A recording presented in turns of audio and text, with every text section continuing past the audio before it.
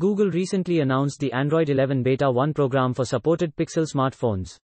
OnePlus soon followed. Dot. Read more Google recently announced the Android 11 Beta 1 program for supported Pixel smartphones. The Vivo Nex 3S 5G is currently the brand's flagship smartphone and is only available in China. So, the beta program for the same is meant for the Chinese variant of the smartphone.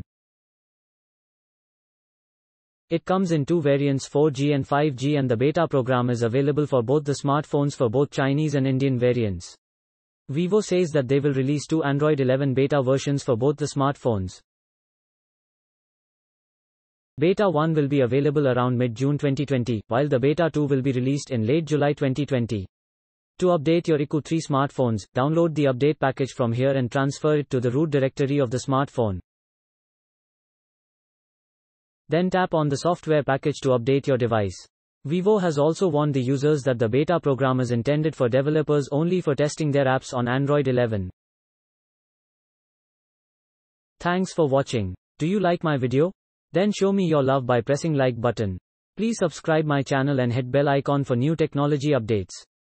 Bye bye.